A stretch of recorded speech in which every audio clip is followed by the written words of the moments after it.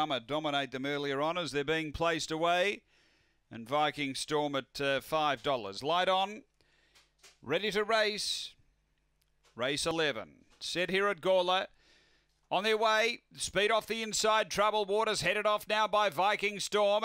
Viking Storm leads Emily Jose second. Stitchem Franca close third and about five away. Hot Gallon then Max Worthy and Trouble Waters out the back. Off the back, it's Viking Storm pinching a break. A length and a half. Emily Jose then Stitchem Frank. They're on the turn though, and Viking Storm clear over a Hot Gallon running on, but Viking Storm beats Hot Gallon. Emily Jose and behind those, uh, look, Stitchem Frank's in a photo with Max Worthy for that fourth spot. Uh, then came Trouble Waters. The run is around 23.40.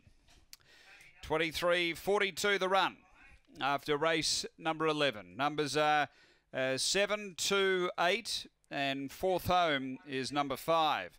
Seven the winner, Viking Storm for Kevin Bewley. Uh, Kurt Donsberg, uh, number seven, second to two. Hot Gallon for Alan Randall and third to eight, Emily Jose, Judy Hurley. Seven to eight, five fourth after race number 11 at Gawler.